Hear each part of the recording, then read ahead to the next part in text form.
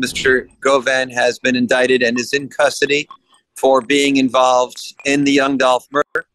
Um, he played the role of the person who solicited. What's good, Rizzle fam? The feds are getting involved in young Dolph's case, and it looks like Dolph's alleged killer might have some dirt on the good old suspect, Yo Gotti.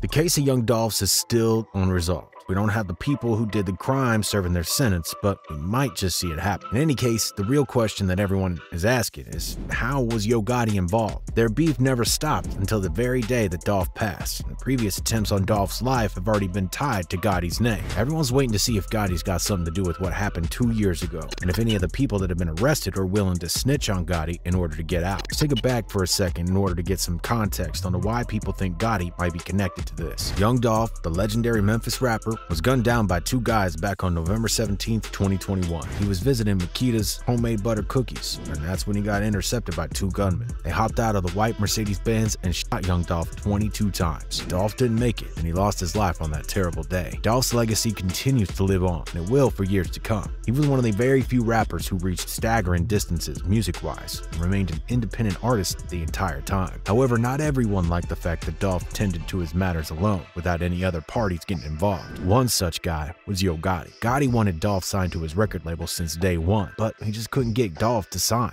Not even a multi-million dollar deal could persuade Dolph to change his mind. That meant trouble between these two. Gotti's monopoly and strong influence in the hip-hop scene of Memphis were challenged by the arguably more talented rapper and someone with great potential. Probably the peak of their beef was the night Dolph's SUV got targeted with more than 100 shots, and that's when Dolph created his hit track 100 Shots, which skyrocketed his fame even outside of Memphis and the States. Even though Gotti wasn't involved in the incident, one of the guys who was was Gotti's artist, Blac Youngsta. He was one of the two guys who got arrested for the incident, but with some help from good lawyers, the charges against him were dropped. But in November of 2021, there was no bulletproof SUV to protect Dolph from the gunfire. Similar to the Blac Youngsta incident from a few years back, all fingers were pointing to Yo Gotti again. And everyone knew that he had a motive to do it, especially given all the circumstances involved. For a couple of months, things went quiet as the police were figuring out all the details of the incident. But in January 2022, we got to see some developments. One of the three guys who were the suspects was a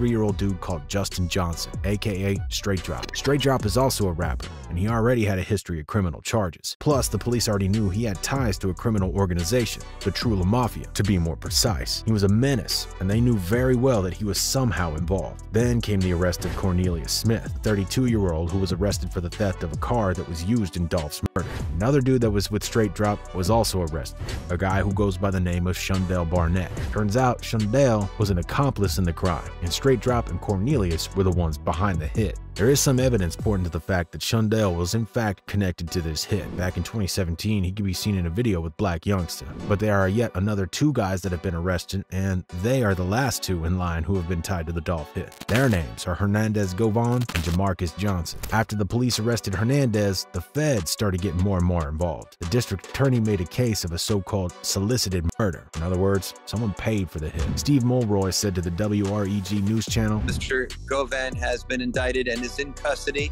for being involved in the Young Dolph murder.